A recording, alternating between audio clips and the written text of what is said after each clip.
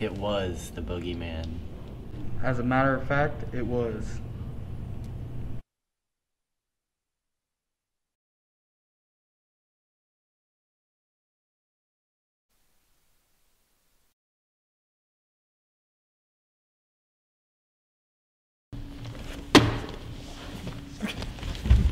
Yeah! This is the only mask I need!